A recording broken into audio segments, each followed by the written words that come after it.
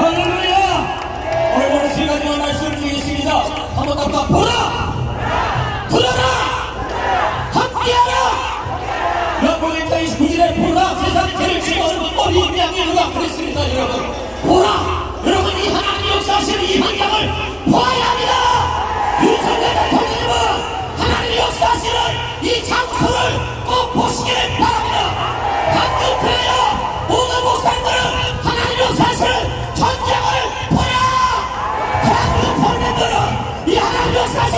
환장을 팔아! 이 판결과 제도하는 이 지상파, 이 노총, 이 전교들, 이 개자식들아! 이 하나님 역사지 환장을 보란 말이야!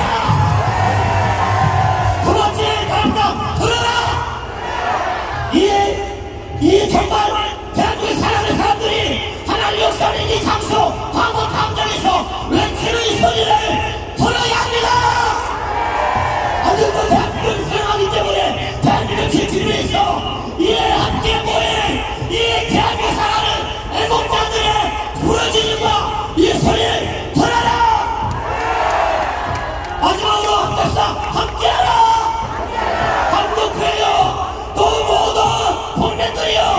우리 전남 목사님을 중심으로